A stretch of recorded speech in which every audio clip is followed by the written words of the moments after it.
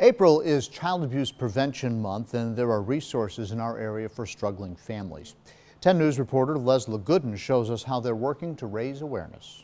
You may have spotted pinwheels like these spinning across the Commonwealth. They symbolize Virginia's abused children.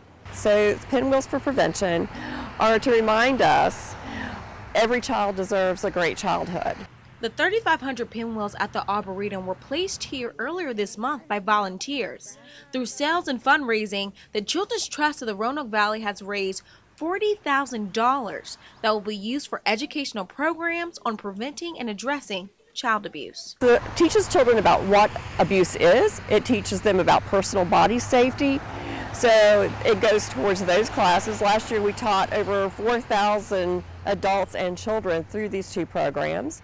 Family Services of the Roanoke Valley serves as a partner with Children's Trust and says they've seen a new issue occurring. What we're seeing is um, a, an increase in referrals because of the opiate addiction crisis that's happening. More caregivers um, are struggling with addiction, which obviously means they've got less coping skills to manage the challenges that children bring. He says there are key signs of abuse.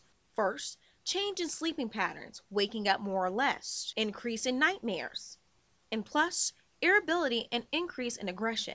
Family Services uses play therapy to assess if a child has been abused and offers free programs for caregivers and parents to learn more on abuse and treatment. In Roanoke, Leslie Gooden, 10 News, working for you.